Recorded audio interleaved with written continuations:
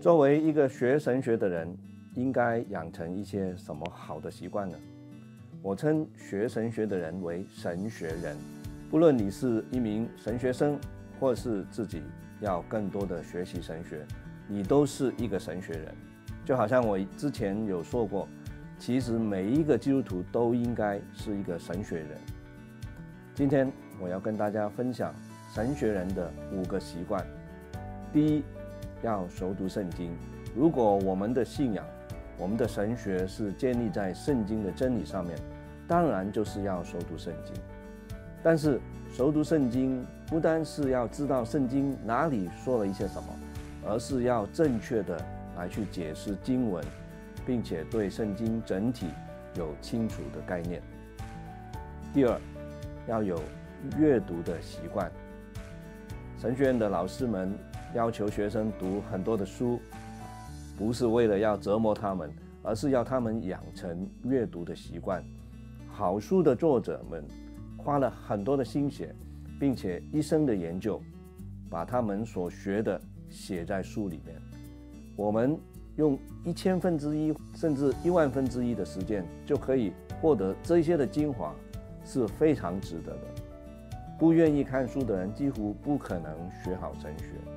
多读书非常的重要，但是有一句话说“尽信书不如无书”，所以神学人第三个要养成的是批判的习惯。批判也许听起来有点难听，其实就是分辨的能力。所谓批判，就是尖锐的去察觉一句话、一个论调、一种观点是否有不正确的地方。以致我们不会随便的跟风，随便接受一些似是而非的道理。但是，如果我们只会批判，就会变成很负面、很狭窄。神学人第四个要养成的习惯，就是要有一个开放的胸怀。这跟批判是互相平衡的。用一句英文的话来说，就是 “Be critical, but open-minded”。我们不要变成心胸狭隘的人，不愿意接受新的观点、新的想法。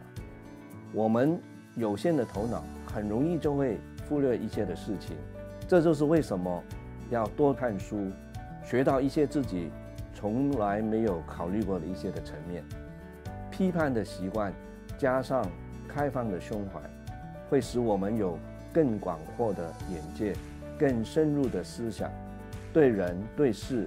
对信仰有更成熟的态度。最后，我们要有反思的习惯，常常检验自己的思想信念有没有偏见，有没有盲点。更重要的是，检验自己心底里面的动机到底是什么。在神面前谦卑地承认自己的有限、自己的不足，求圣灵光照我们自己没有察觉到的一些的问题。神学人的五个习惯：熟读圣经，多看书，会批判，心胸广，常常自我反省。鼓励你养成这些的习惯，一定会有很大的成长。